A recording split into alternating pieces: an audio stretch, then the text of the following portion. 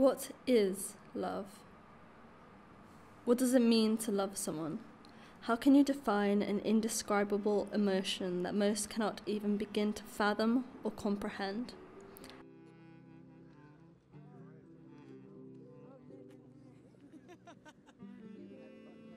Academics, scholars, philosophers, scientists all have tried to understand love and put logic behind it, but it is not as black and white as that.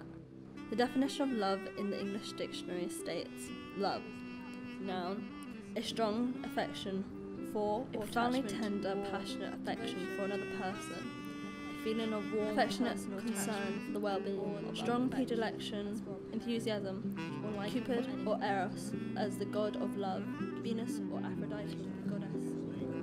The dictionary has so many definitions. It has the definitions as a noun and as a verb, but still, none can really encapsulate what it is. Scientists say that love is a rush of certain chemicals releasing in your brain. Though that may be true and might be part of it, it is just not that simple.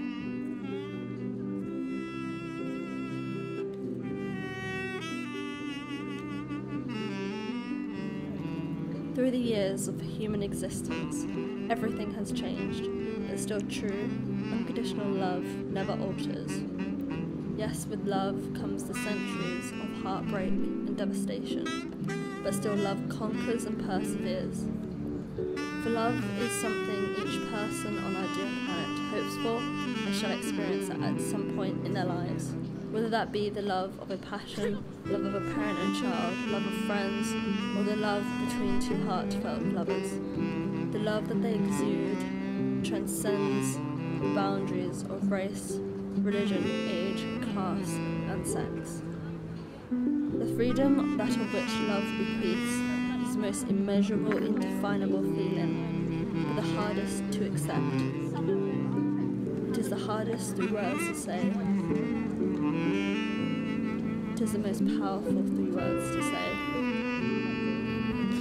The three words are known and used, felt, all over the world, throughout history, has always been used, and shall be used, to the end of our existence. When you hear this, you know you are someone's whole world.